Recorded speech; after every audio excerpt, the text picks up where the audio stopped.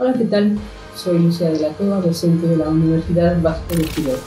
Nuevamente con ustedes para continuar hablando un poco sobre los efectos y estrategias en el área económica que están alrededor de esta pandemia del COVID-19. Aunque yo esté hablando o vaya a hablar de puntos económicos, no debemos de quitar el dedo del renglón, que lo primero es la salud. Tenemos que priorizar la salud.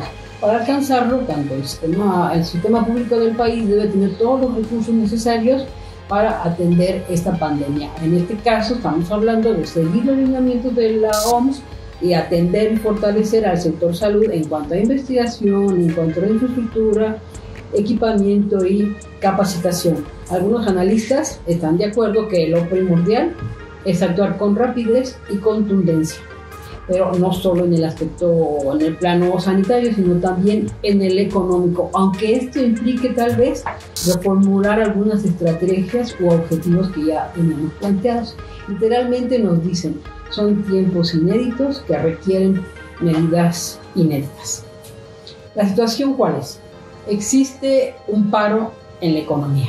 Ese paro en la economía está bajando definitivamente la producción, el consumo, lo que es la actividad en sí. Es un paro en varias áreas de la, de los, de la economía. Tenemos una pérdida de empleo importante en el caso de nuestro país. a principios, a principios de abril ya teníamos una pérdida de 350 mil empleos.